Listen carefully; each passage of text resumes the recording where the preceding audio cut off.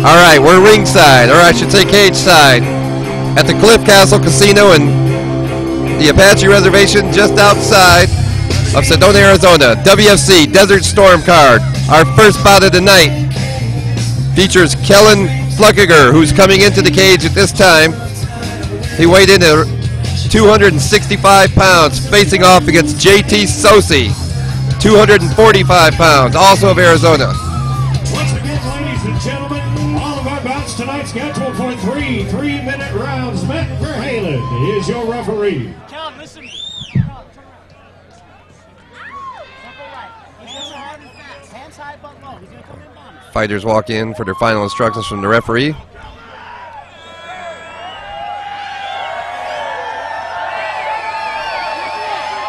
back away. You're going for you. Have to wait for the ring card girl to clear the ring. Circle right. Show him some and don't. These are two huge men. I'm expecting firemen, fireworks here.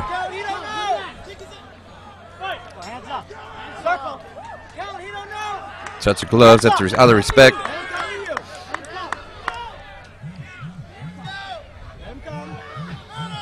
Both men showing a lot of respect early, trying to feel each other out. Kellan probes with a jab, JT throws a kick, neither one lands. Two men this big, neither one wants to get caught with anything. Low kick by Kellan, not much on it. JT kind of jammed it by crowding in on it. Low kick by JT. Couple wild right hands, not much effect.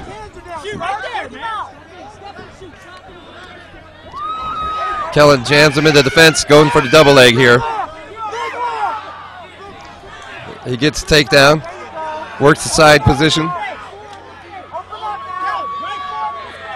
JT needs to get them hips active, try to get that get out of that position.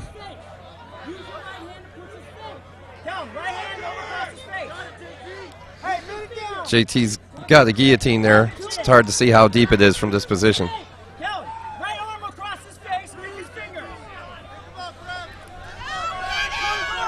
JT gets his back off the fence. Nice knee to the body by Kellan. He gets his head loose. He's got dominant position now. Looks like he's going for an arm lock on the far side. Fight's over. Looks like he's holding his side where the knees landed. Kellan Fluckiger with a TKO in the first round. Looks like it was the body shot to the knees that ended the fight. We'll be back in a moment with our next bout.